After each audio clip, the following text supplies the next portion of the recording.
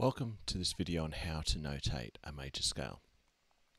Um, I'll be going through the process in a simple way um, of being able to notate major scales using uh, the circle of fifths diagram that we discussed in the past couple of videos. Um, if you haven't seen that, go and check that one out. With this video, you'll need to have a basic understanding of your treble clef and bass clef notes. Um, if you're not familiar with these, please go and check that. I'll assume that you know what all the lines and spaces are um, in your treble clef and bass clef. Let's get started.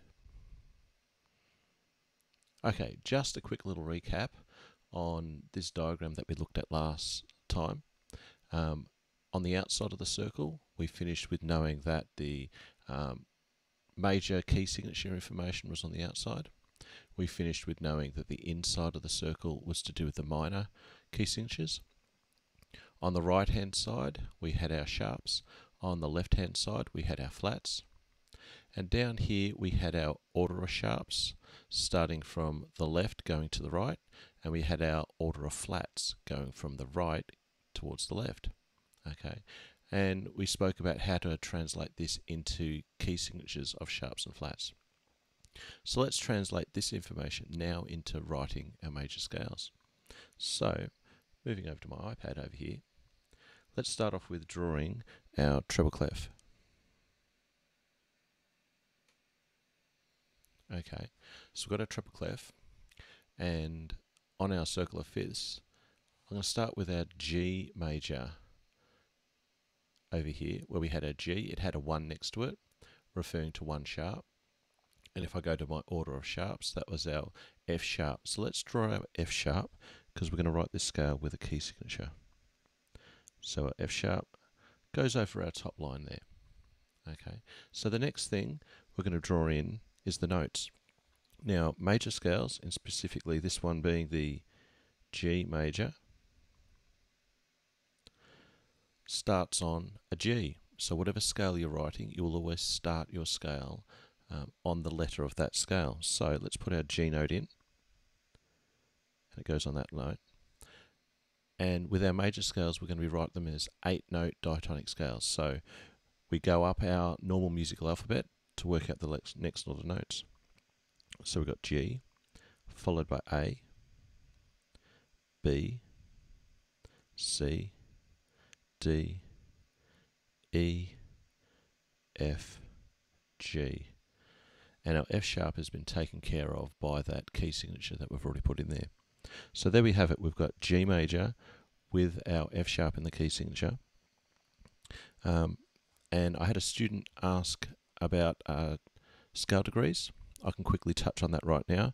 So if we look at our scale degrees as a numbering system for the notes of our scale. So if I put that in, our first note was number one, number two, three, four, five, six, seven, eight. So we've got our eight notes there.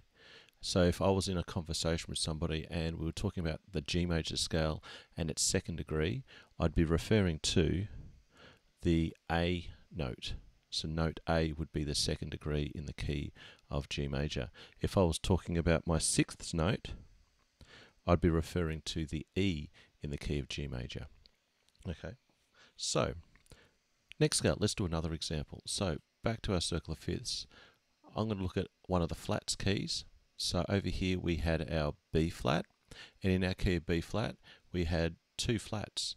So in our order of flats, the first two flats are B and E flat. So let's keep that in mind. So let's draw our next treble clef. Okay, we'll draw in our two flats, a B flat and E flat. Now when drawing in the notes, before we do that, we'll put the name of it, B flat major. So before drawing in the notes of this scale, have a think about where your starting note is going to be. Um, for those familiar with the treble clef, you've got multiples of the same letter. And so if you're going to have to go up to the next highest version of that net letter ascending, you've got to be aware of where you're going. So I'm going to be starting my B flat below the staff. Right here. So that's where my B will be, below the staff. Then using my alphabet, I'll go up. So B, then C, D, E, F, G, A, B, and there we have it. We've got our B flat major scale with a key signature. Now, if you are asked to write the B flat major scale without a key signature, let's cover that one. So if I get my eraser, and let's get rid of our key signature that we had over there.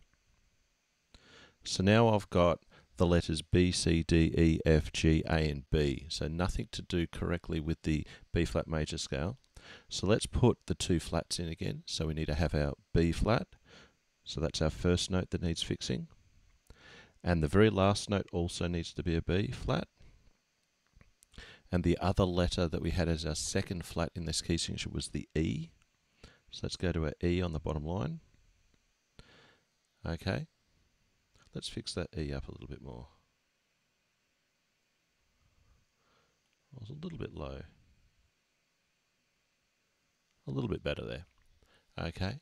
Uh, so now we've got our B flat major scale with accidentals. So each note has got the flat symbol in front of it. Now something to point out if you haven't come across this before, um, that first note was B flat. And you notice how I say B flat. I don't call it a flat B. So visually on our notation, we've got to have the flat symbol or in some situations our sharp symbol or natural symbol in front of the note. So, but when we say it, we say it as a B flat. We say it as an F sharp, but we draw it as a flat B or a sharp F type of thing when drawing these notes in. Um, let's try another example. So this time we'll do it as a uh, bass clef example. So we'll come over and do D major. So D major had two sharps. So, and those two sharps was F sharp and C sharp, the first two in our order. So let's draw a bass clef this time. Okay, so I got my bass clef. Now the two sharps, if I was doing this with a key signature, was the F sharp and C sharp. And we'll label this one as well.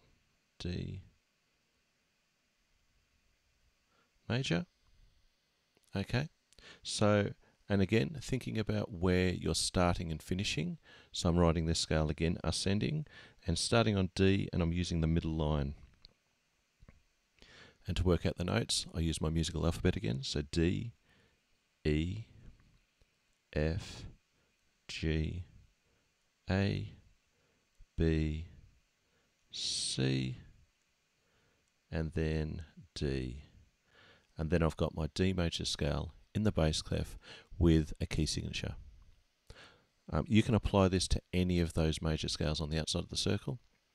Um, feel free to comment. Hopefully you found that that is a useful um, little lesson. And don't forget to subscribe. Any other suggestions or theory knowledge that you need some help with, um, just put in the comments below and I'm happy to help out. Thanks.